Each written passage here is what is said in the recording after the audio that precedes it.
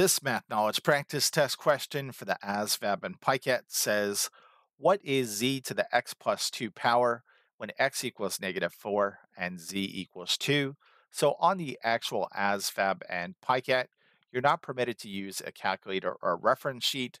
And for that reason, I'd recommend you get in the habit of copying things down and working them out on your own scratch paper.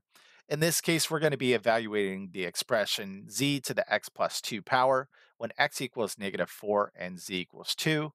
So let's go ahead and plug in these values respectively so we can evaluate this expression. This becomes 2 to the x is negative 4, so this is negative 4 plus 2 power.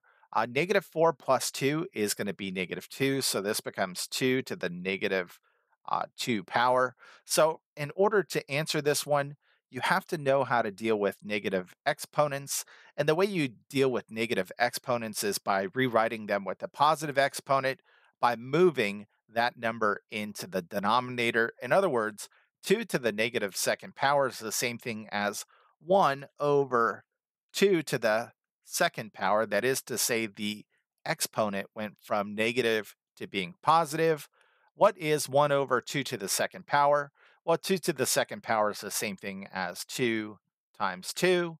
2 times 2 is 4, so this becomes 1 over 4.